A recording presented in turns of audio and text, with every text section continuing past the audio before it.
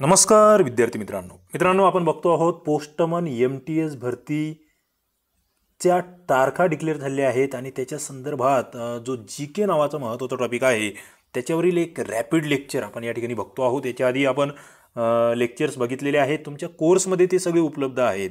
Okay?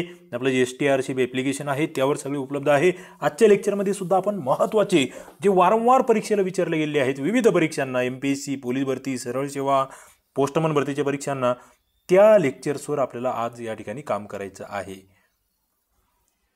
ते जे lectures आपण याच्या आधी घेतलेले आहेत ते सगळे तुम्ही बघा. कारण की जी के जो आहे मित्रांनो तो सुद्धा एक महत्त्वाचा घटक या ठिकाणचा आहे. आजचे प्रश्न आपले मुख्यत्वे पॉलिटी संदर्भात असणार आहे. आपण बघतोय पॉलिटीवर सुद्धा सातत्याने विविध अँगलमध्ये प्रश्न येत आहेत. पटापट पटापट आपल्याला जुन्या प्रश्नांची रिव्हिजन या ठिकाणी करायची आहे. त्याच्यातून इतरही बरेचसे मुद्दे मी तुमच्याबरोबर डिस्कस करणार आहे. पहिला मुद्दा आहे तो म्हणजे राज्यपालांचा राजीनामा हा ते कोणाकडे देतात? उत्तर आहे राष्ट्रपतींकडे. आता तुम्हाला पुढे थोडंसं जाऊन माहीत असलं पाहिजे की कलम कोणता आहे. मग राज्यपालांची निवड कशी होते? त्याची पद्धती कोणती आहे? राज्यपाल आपल्याच राज्यातील चालतो का? की बाहेरच्या राज्यातला असावा लागतो? तो संकेत आहे की घटनेमध्ये नमूद आहे असे विविध मुद्दे. ओके? राज्यपालाला शपथ कोण देतात? राज्यपाल बनण्यासाठीची किमान वयोमर्यादा काय? असे विविध मुद्दे तुम्हाला वाचून ठेवावे लागतील अभ्यासावे लागतील. पुढे अर्थ विधेयक फेटाळण्याचा अधिकार कोणाला आहे? बघा लोकसभा आणि राज्यसभा दोन सभागृह असतात संसदेची. संसदेची नवीन इमारत बनते आहे सध्या ते प्रकाश झोतामध्ये आहे किंवा चर्चेतला विषय आहे. त्या संदर्भात तुम्हाला माहीत आहे का इमारत किती बनते आहे कितीचं बजेट आहे वाचलेलं असलं पाहिजे. इथे अर्थविधेयक फेटाळण्याचा अधिकार कोणाला आहे? लोकसभेला. अर्थविधेयक आहे की नाही हे ठरवण्याचा अधिकार कोणाला आहे? हाही प्रश्न आलेला आहे. विचार तुम्ही केला पाहिजे. तुम्हाला जास्तीत जास्त विचार मी करायला लावणार आहे. या ठिकाणी प्रश्नांचे उत्तरं मी देतोय. मात्र काही प्रश्न मला तुमच्याकडून अपेक्षित आहेत त्याची उत्तरं बंदी प्रात्यक्षिकरण.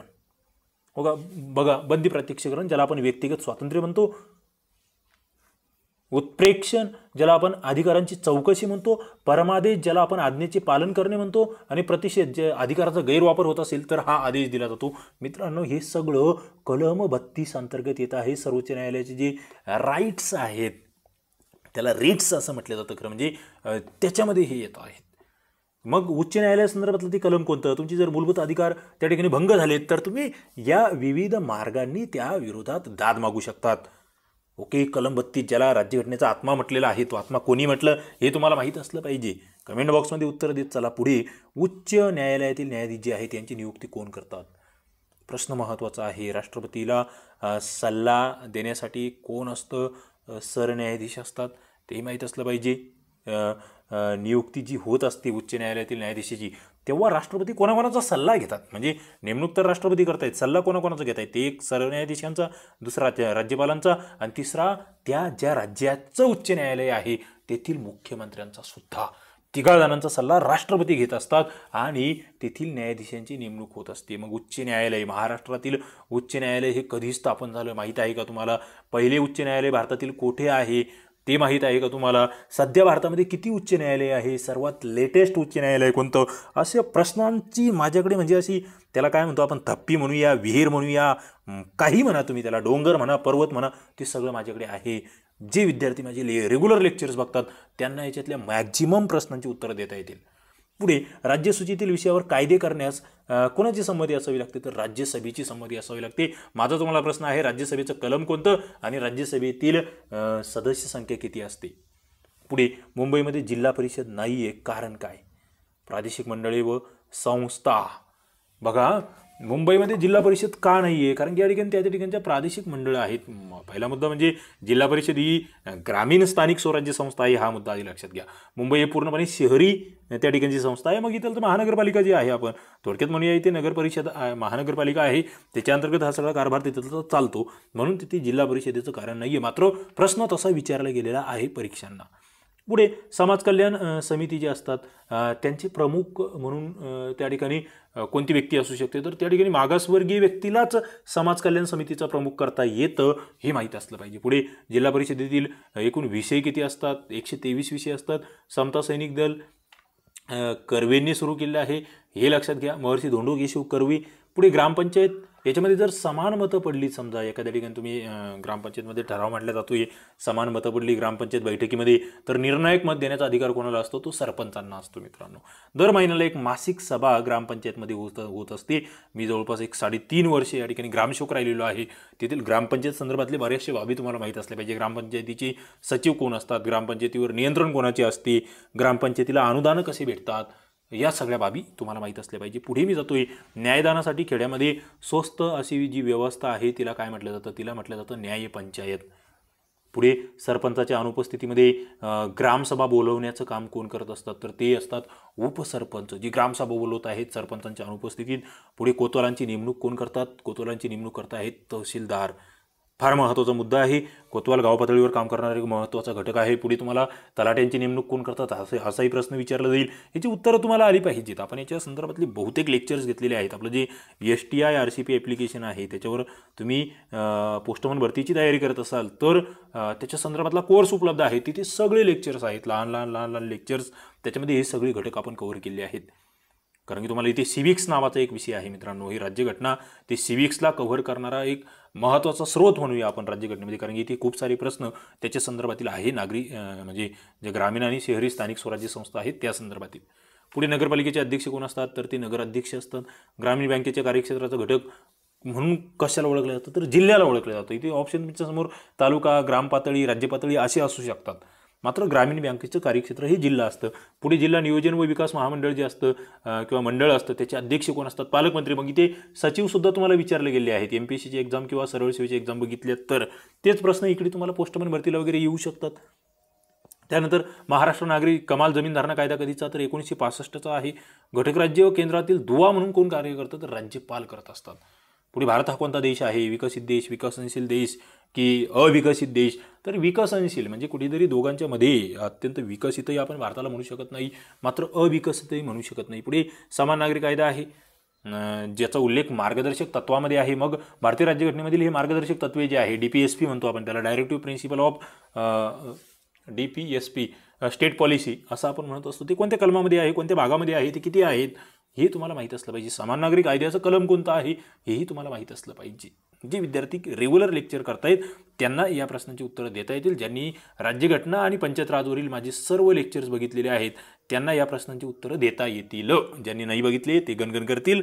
त्यांच्या डोक्यामध्ये त्या ठिकाणी हँग होऊ शकतात. त्यांचे डोके यात म्हणजे काही भरोसा नाही आहे त्याच्यामुळे अभ्यासच असावा लागतो. पुढे वैधानिक शेषाधिकार कोणाकडे आहे? तर संसदेकडे आहे. पुढे अर्थविधेयक याला संमती राष्ट्रपतीची असावी लागते. धनविधेयक प्रथम कुठे कुठे मांडलं जाऊ शकतं? राज्याच्या बाबतीत तर विधानसभेमध्ये बी डी ओला मदत करण्यासाठी कोण असतात? त्या ठिकाणी शिक्षणासंदर्भात गट शिक्षण अधिकारी जिल्हा परिषदेची प्रमुख समिती जी असते ती असते स्थायी समिती. स्थायी समितीमध्ये किती सदस्य असतात हाही पुढचा प्रश्न माझा तुमच्यासाठी आहे. पुढे रॅपिड आहे हां. रॅपिड फायर म्हणतो मी याला. म्हणजे तुम्ही म्हणत असाल मागे काही तुमच्या मागे काही कोणी पळतंय की काय तसं नाही आहे मला वेळेची किंमत आहे. वेळेची किंमत आहे टाईम माझ्याकडेही कमी आहे आणि मला वाटतं तुमच्याकडे सुद्धा वेळेची किंमत असली पाहिजे. ज्याला वेळेची किंमत तोच या जगामध्ये सक्सेस होणार. पुढे सार्वजनिक भांडवलाची जास्त गुंतवणूक कुठे केली जाते? लोह आणि पोलाद उद्योगामध्ये काही लोकांना कामावरून काढून टाकल्यास उत्पन्नात काहीच फरक पडत नाही. अशी जी बेरोजगारी असते किंवा बेकारी असते तिला काय म्हटलं जातं? त्याला छुपी बेरोजगारी किंवा त्याला प्रछन्न बेरोजगारी असा सुद्धा एक शब्द शब्द आहे. त्याच्यानंतर अग्रणी बँका ज्या स्थापन झाल्या होत्या कधी स्थापन झाल्या होत्या हाही मोठा प्रश्न आहे. लीड बँक असं आपण म्हणत असतो त्याला. आणि त्या त्यांचा मुख्य उद्देश काय होता तर विभागीय विकास करणे हा त्यांचा मुख्य उद्देश होता. पुढे शाहूंचे राज्य ज्याला लोककल्याणकारी राज्य असं आपण म्हणत असतो ते माहीत असलं पाहिजे. शाहूंचे विविध कायदे त्यांनी केले मु- मुख्य सुधारणा त्याच्यावरही आपण का विचार केला पाहिजे किंवा अभ्यास केला पाहिजे. आंबेडकरांचा मरणोत्तर प्रसिद्ध ग्रंथ कोणता? बुद्ध अँड हिज धम्म हा तो ग्रंथ आहे. मग डॉक्टर बाबासाहेब आंबेडकरांचे इतर ग्रंथ त्यांचे वृत्तपत्र त्यांनी स्थापन केलेल्या संस्था याबद्दल आम्ही वाचन केलं असलं पाहिजे. आनंदीबाई विधवेशी विवाह कोणी केला होता? तर कर्वे यांनी. मग हे कर्वे कोण? कर्वे यांचं पूर्ण नाव तुम्हाला माहीत असलंच पाहिजे. त्यांच्या विविध संस्था महिलांसंदर्भात केलं त्यांचं कार्य. विधवा विवाहासंदर्भातील त्यांच्या वेगवेगळ्या संस्था त्यांचे ग्रंथ त्यांना भेटलेला भारतरत्न. अनेक. मी ते म्हणजे थप्पी म्हणतोय ना मी. हे दहा वर्षाचं संचित आहे. हे दहा बारा वर्षापासून जे मी अभ्यास करतोय सातत्याने वाचन करतो आहे ते सगळं माझ्या मुखातून या ठिकाणी तुमच्यासमोर येत असतं. आणि जे अभ्यासू विद्यार्थी मित्र आहेत त्यांना मग कळतं की अरे अभ्यास किती असला पाहिजे किती प्रश्नांमध्ये किती काही लपलेलं असू शकतं. पुढे शाहू महाराजांवर जे आहे ते कशाचा प्रभाव होता? ब्राह्मणांनी वैदिक मंत्र म्हणण्यास त्यांना नाकारलं त्याचा प्रभाव त्यांच्यावर पडला आणि मग बहुजन समाजासाठी त्यांनी सातत्याने कार्य केलं. पुढे बघा मित्रांनो हे सिविक्सला कव्हर करणारे राज्यघटनेतील प्रश्न या ठिकाणी आहे असं मला तुम्हाला सांगायचं आहे. सातवे परिशिष्ट त्याच्यामध्ये तीन सूच्या आहेत. त्या तीन सूच्या कोणत्या? केंद्राची राज्याची आणि दोघांनाही ज्याच्यात पॉवर आहे अशी त्या तीन सूच्या मला कमेंट बॉक्समध्ये नक्की उत्तर द्या. पुढे अस्पृश्यता नष्ट करणारं कलम कोणते भारतीय राज्यघटनेतील कलम सतरा. कलम सतरा कोणत्या भागांतर्गत येतं? आणि अस्पृश्यता नष्ट केली हा मूलभूत अधिकार आहे की कायदेशीर अधिकार? हेही तुम्हाला कळायला पाहिजे.